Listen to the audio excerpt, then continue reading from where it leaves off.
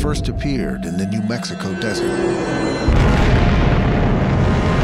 For the first time in human history, we now were capable of our own destruction. Now, thanks to state-of-the-art restoration, we can finally see the incredible power of this device. Everybody's affected by it. There's no place to hide.